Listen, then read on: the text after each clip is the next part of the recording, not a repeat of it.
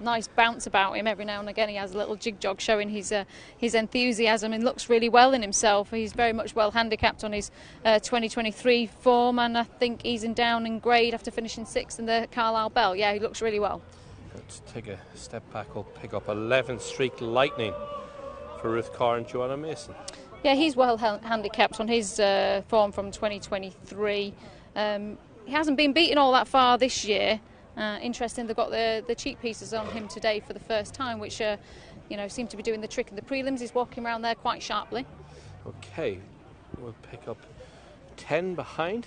That is uh, Vince Le Prince, who's up two pound uh, for his success at Leicester last time out. That was his third success in total.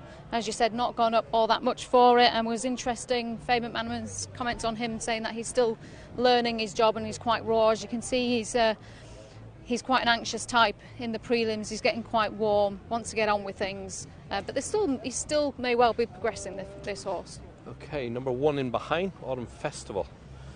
He's well enough treated in all form and trained by David O'Meara, but well held um, last few starts. Yeah, exactly. He's going to need to step up on what he's been showing. Whether they drop back down to seven furlongs, having Danny Tudhope in the saddle will help make a change of things. He was third in the Thirsk Hunt Cup, so he's got some bits of form here. He obviously won eight times for David O'Meara, so he does need to step up on what he's done, but he does look he looks okay in the prelims. I can't really fault him. He okay, got a nice Bell, march on him. Bell signs. Let's quickly look at a couple uh, of Michael Dods. With number four, Abruzzo Mio back to seven furlongs today. Yeah, I think that'll be a real positive. He was quite keen over eight furlongs uh, last time out.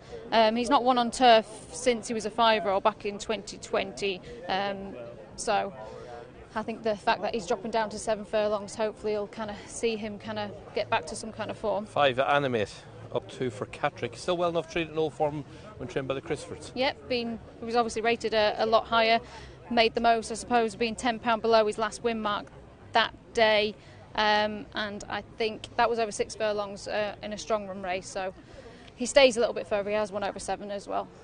Another bars, another horse who, like several of these here, is getting well enough treated and on old form, but need, does need to bounce back for Adrian Keatley and Oisin McSweeney. Yeah, um, his best form as well has probably been over five and six furlongs. So um, not quite sure on the seven furlongs today, but he looks well.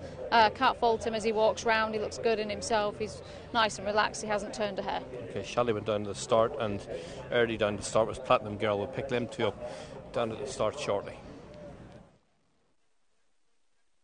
Yeah, this is the 352, the download the Vickers.bet app handicap. Seven furlongs they have to run over here, and uh, we have got a, a, good field lining up for this and some horses arriving in good form, not least Vince Le Prince, who we did see in the preliminaries was getting a little bit anxious, but this was him winning for the third occasion at uh, Leicester earlier in the month. He was ridden by Faye McManoman this day. He was a 16 to 1 shout. He'd run a couple of races before this this season. Uh, mixed bunch, his opening run better than his second run at Beverley, but he was. Uh, really just sort of cajoled along throughout by Faye McManoman, and he really got into a, a, winning game spirit in the tail end of the race. And as we'll see at this stage, his chances don't look as likely, but he was able to come home quite strongly, and he won a shade cozily in the end.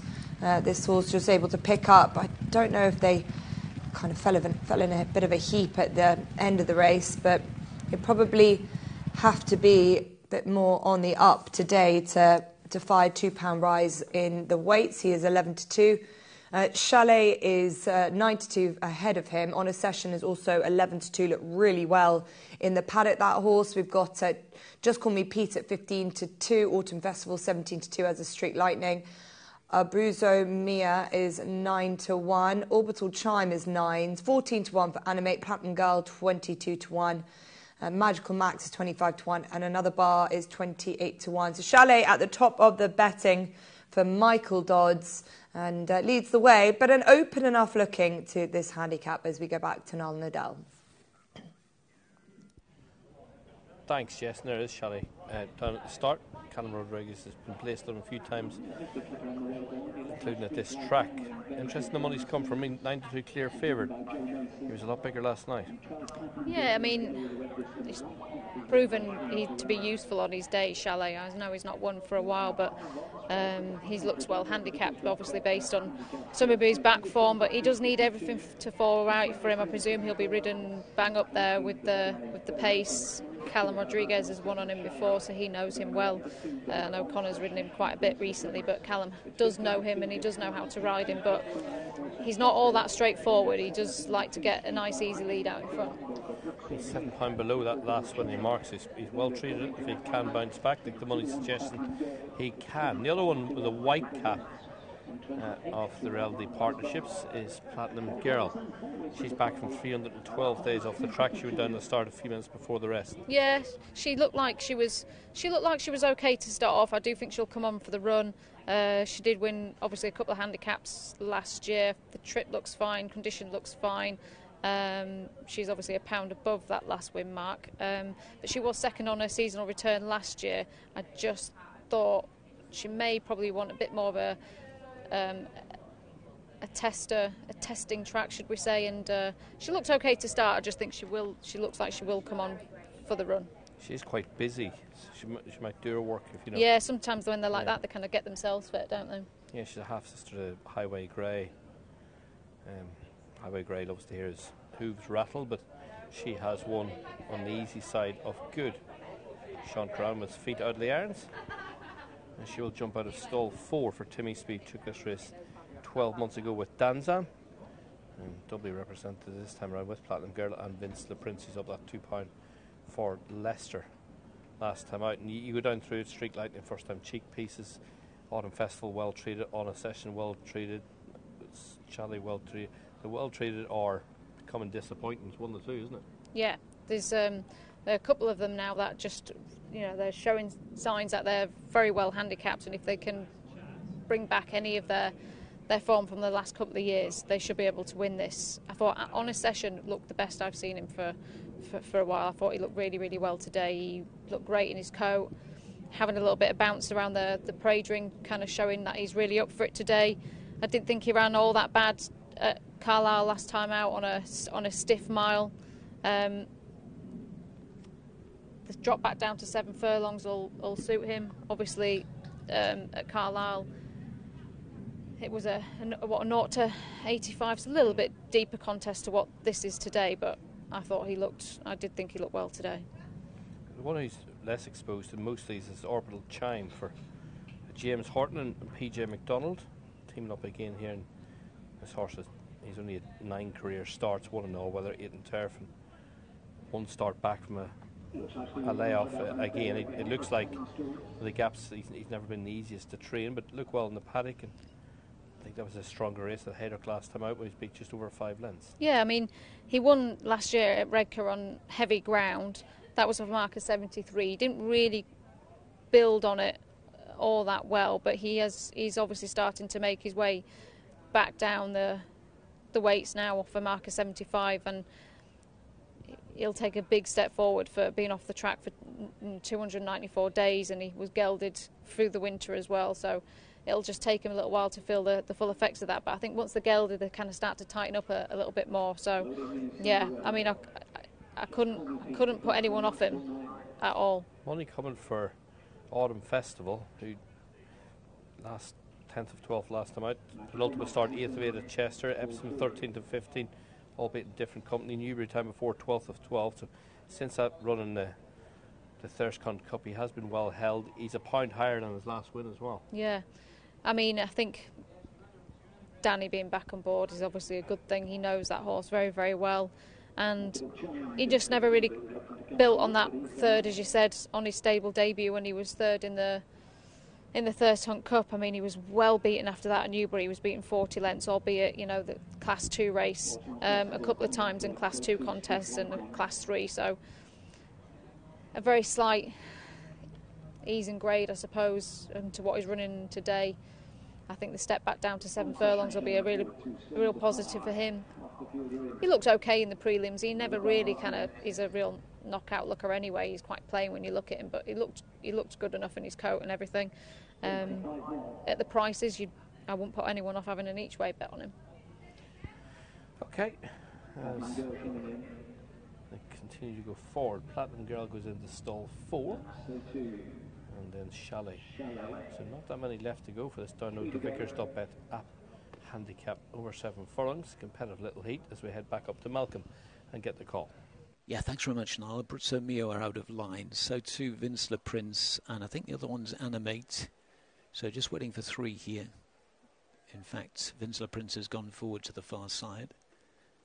Abruzzo Mio coming in near side. Just waiting for Animate, I think, to complete the lineup. That one's walked in. We are ready to go here. Set, they're off, racing over seven furlongs. The grey horse, Magical Max, missed the kick in the download the Vickers.bet app handicap stakes. Good start by uh, Platinum Girl in the yellow jacket, red disc, white cap, and prominent deeper out in the same colours, but with a red cap is Vince Le Prince. Between horses with the white face is Orbital Chime, and then further towards the inside, Abruzzo Mio, red cap and nose banded. Out wide, Platinum Girl in the black and pink. Just Call Me Pete tucks in behind them with Chalet centre pack in a green jacket. On the inside of that one is On a Session. Animate towards the back of the field with another bar. Streak Lightning is second last, and Magical Max is at the back of the 12 runner field, and 10 to 12 off the leader, which continues to be Platinum Girl and Sean Kirrane. They're past halfway and approaching the home straight, heading down towards the final three furlongs. Platinum Girl off the front by a length and a half to Vince Le Prince racing second, a couple of lengths to Abruzzo Mio racing third, and then Autumn Festival towards the near side on a session is right there, so too Orbital Chime with the white face. Abruzzo Mio towards the right, Chalet just behind them in the green jacket, brown cap trying to pick up. Down the straight they come back inside the final two furlongs. Platinum Girl trying to fend them off from the front here. Le Prince. Orbital chime towards the near side of Abruzzo Mio on the far side. Not many have got into it. Chalet is still trying to pick up behind the pace. Inside the furlong now. Platinum Girl still there by three parts of a length. Over on the far side of Abruzzo Mio. Chalet trying to dart between horses. They race up towards the line. Platinum Girl. Abruzzo Mio. Abruzzo Mio's nailed Platinum Girl. Tight behind Chalet on the far side. Vince Prince between horses. Near side Orbital Chime. Then on a session behind those from Streak Lightning and another bar. It's a 1 3 uh, for Michael Dods. Uh, Abruzzo Mio just holding on the far side for Michael Dods and Connor Beasley. Uh, beats in second place, number 12. Uh, Platinum Girl for Timmy Smith. Sean Kirrane shipped really nice in her first start. Uh, back from a layoff. It's officially a folder for third, but it did look like Shelley possibly just had got that position. We'll confirm it in due course, but no doubt about the winner, uh, Abruzzo Mio. Yeah, he'd um, ran really well at Doncaster, um, over a mile and the step back down to seven furlongs has um, certainly suited him. And to be fair to him, once Connor kind of asked him to to go and win his race, he did because she took a little bit of catching in the end. Platinum Platinum Girl, she obviously was making her seasonal return, and Sean Kirrane was straight out in the front on her. And he, he once he come around that home home turn, he kicked and she they went quite clear in at one point, and she took a little bit of catching in the end. But um, you can see why they, they do try and run him over eight furlongs, Abruzzo Mio, because he does look like he stays a little bit further. Just